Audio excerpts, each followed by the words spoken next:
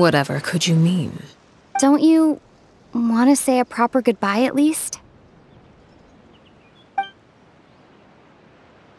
Whether as a killer or as a father, there are two things that must be avoided at all costs anger and sorrow. Anger makes you impulsive, sorrow causes you to waver.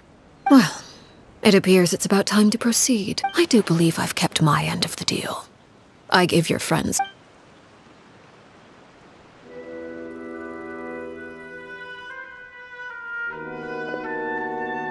Here they are, Father. Oh, you gonna execute him? Lyney! I'm sorry. I heard about how you helped buy us more, but I still failed. I couldn't find a way. Huh? Are you... Indeed, it's been a while, Clervie. Perry! Shh, stay right there. I'm sorry to postpone our reunion, but first, I believe certain scores need settling.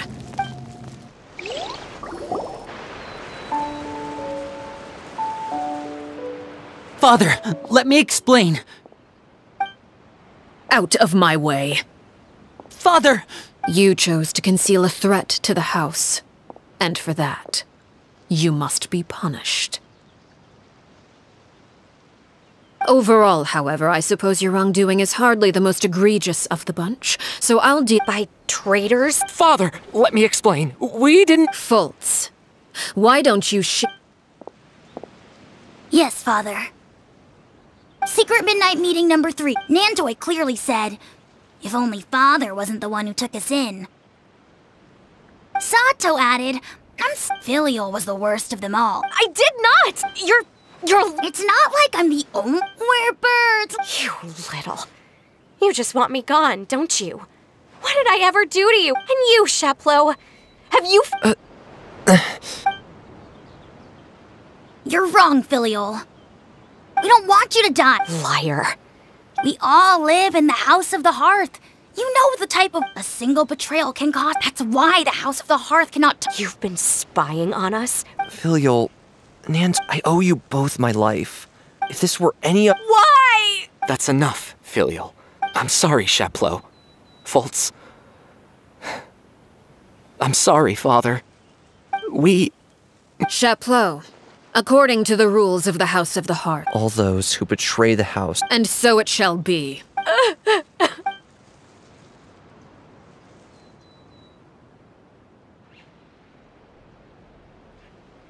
Father, please wait! Something you want to say, Lyney? Please reconsider, Father. What Filial and the others did. Does it? We all come from broken, but the truth is, none of us know what a real home should look like. I'm not saying I have all the answers. All I know is this. Killing Filial and the others may uphold the rules, but doing so will only bring us further away from being. So please, Father. Please. I agree with Lyney. Father, please. Lyney, you. I also agree with Lyney. An order once given cannot be rescinded. However, given the extent of your determination, I suppose. Our weapons? Father, are you referring to a duel? Precisely. The rules of the House will not be altered. Traitors must be punished. However, resolving disputes with a duel is also one of our rules, one that also applies to me. Demonstrate a sufficient showing of strength, and I shall offer a concession. Wait. Beat. Father in a duel? Impossible. Father is way too strong, even for Lyney.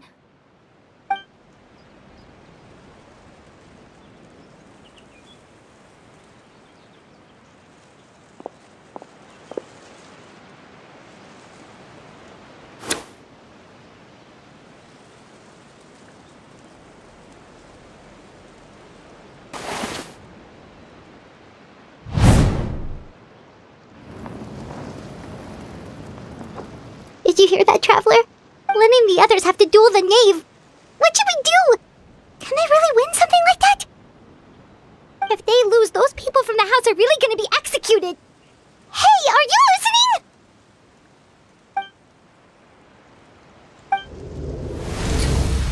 Don't you want to say a proper goodbye at least? Anger makes you impulsive. Sorrow causes you to waver.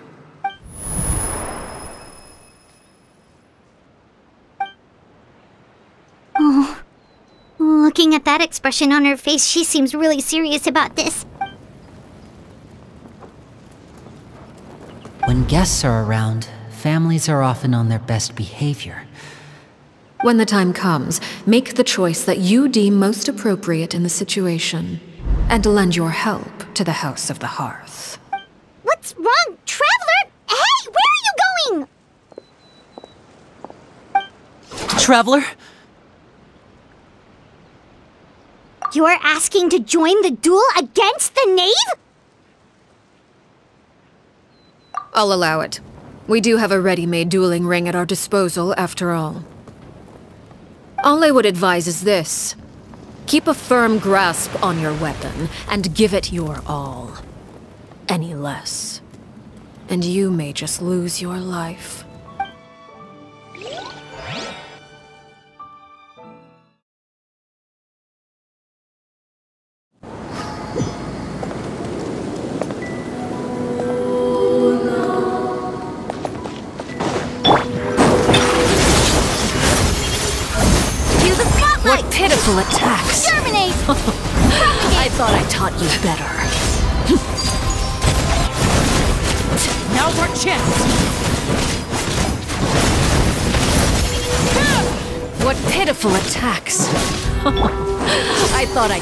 Better.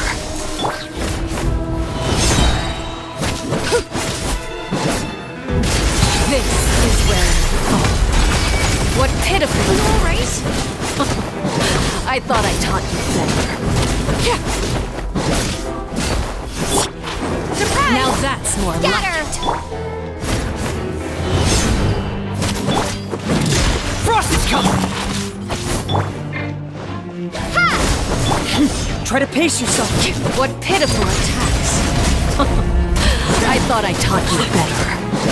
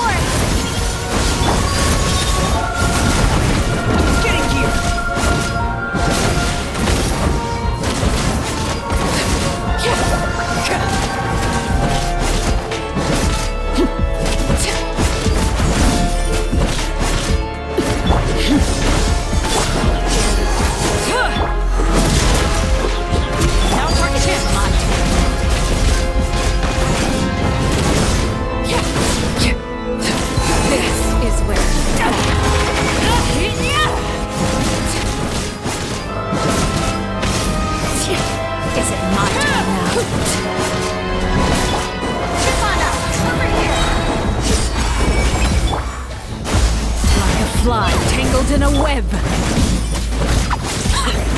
Spare your energy. Running is of little use.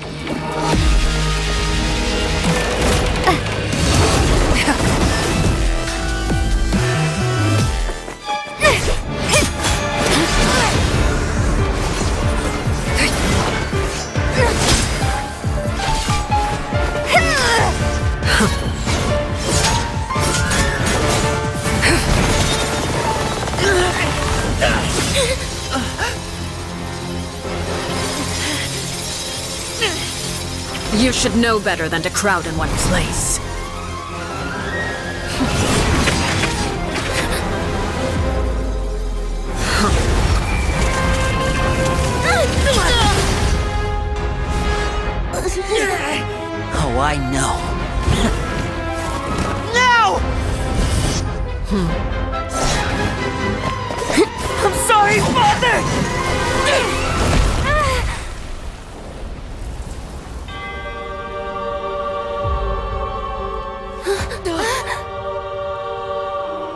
Sorry for what? This pitiful excuse for an attack.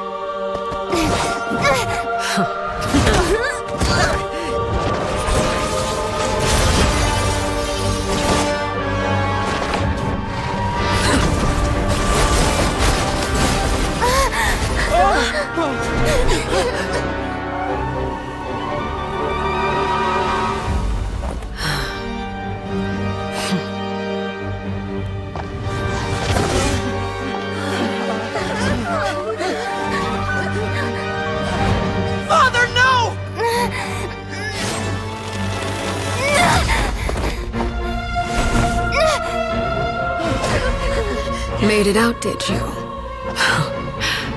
You're stronger than I expected.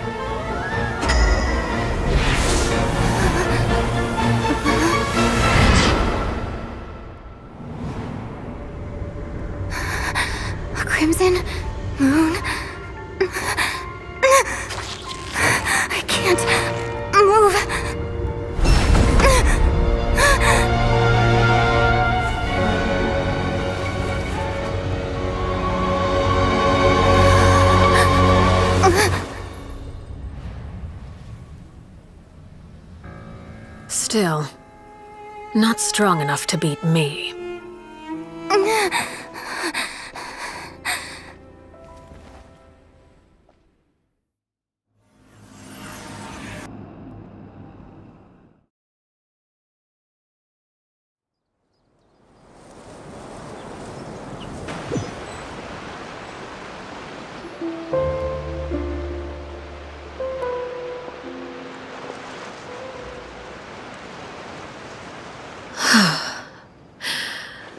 I believe we can end things here. It's not often that we get to enjoy the company of guests, after all. We wouldn't want things to get too out of hand.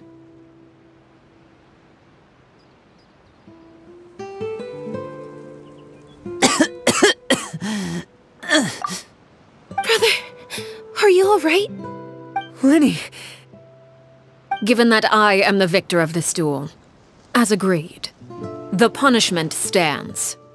No! I never thought things would end like this. However, everyone involved in the duel demonstrated a remarkable level of strength and determination. In light of this, I'm prepared to change the method of execution. Elwar, the bottled flames I gave you for safekeeping. Do you still have them? Y yes? I wasn't sure what they were for, but I've kept them super safe. I didn't lose a single one. Wonderful. Then, in just a moment, I'll have you administer them. Bottled flames? Indeed. They're the product of a secret experiment. Under certain special circumstances, flames can be extracted from my person and preserved. Once ingested, searing pain will spread across every inch of your body. No harm will come to you physically, but your memories will be burned away. If you can withstand the pain. When you awake, you'll have forgotten everything you know about the House of the Hearth, and will be expelled from the organization. In other words, administering this concoction will kill the version of you that grew up in the house, and give you a new identity.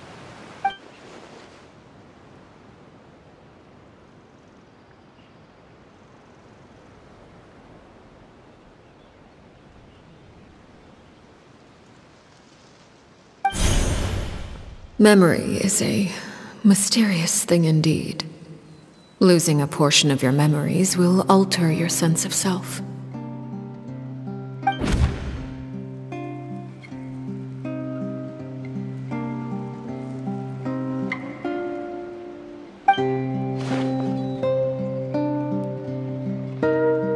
So, you're just letting us go, Father? You misunderstand. Memories are extremely important. Once consumed by flame, the version of you standing before me will die, and our secrets will die with you. So no, I don't intend to just let you go, because the person who survives will be nothing but a stranger. Even so, even so, I won't have to live in fear anymore. I'm sorry, Father. I'm sorry I let you down. But I. I really. Don't cry, Filial. You haven't left the house yet, so there are still rules to be followed, yes. Remember what I taught you. Anger makes you impulsive, sorrow causes you to waver. Don't let yourself be controlled by your emotions. Of course. I'll remember. Dry your tears, and go pursue the life you really want. Yes, Father. Chaplot, Foltz, Elwar. Take them back to Poisson. And bring Lyney and the others as well. I prepared three extra vials of bottled flames. As for whether to take them, the choice is yours. Goodbye, children. The next time we meet, I will no longer be your father. Thank you for all you've done for the house. I hope you have bright futures ahead of you.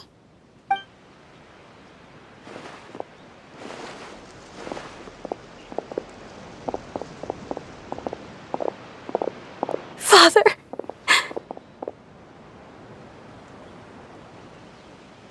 Let's go.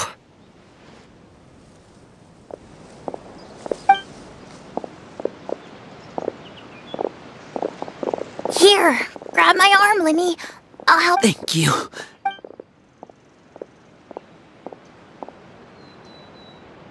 Clervie.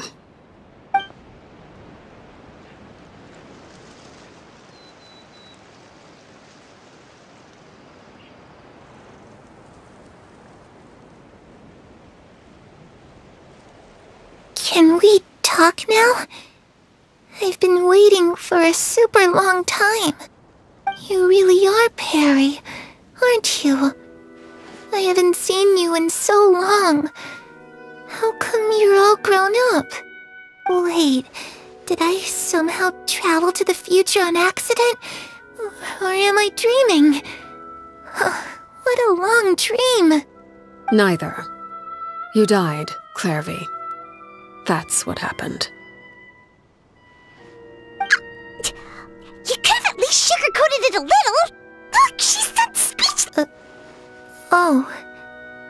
Okay then. Huh? That's it? You accepted it just like that? Yep. If that's what Perry says happened, then I believe her. Perry wouldn't lie to me. Plus, I don't really need to know why I'm like this. I'm more curious about what happens in the future. If you're a harbinger now, Perry, that means Mother is gone, isn't she? Can you tell me about it? I want to know what happened to her. And to me. You never stopped trying to defy fate.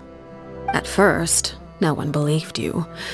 You could only vent your frustrations to the moon. In fact, you often sought comfort in the night sky. You wanted to see the aurora, so one night we promised each other. Later on, you tried to run away, but you were brought back each time. Mother spared your life, but it wasn't out of kindness. Instead, still, you never gave up. Mother hoped that through ruthless duel after ruthless duel, she would be able to crown an ultimate victor among the children she raised. But you called on everyone to unite, to fight to a draw in order to reduce casualties. Your efforts may have only delayed the inevitable, but still. You gave them hope. You tried everything you could think of, but every attempt ended in failure. Still, you never turned your sword on Crucabena, and you never turned it on me. On that gloomy day, you told me, For the last 16 years of my life, I've done everything I can to fight for freedom. But now... I never imagined I would say something like that. I must have been feeling really worn down. But somehow, I still think I understand. According to Mother's plan, only one of us was going to make it until the end. And I always hoped that person would be you.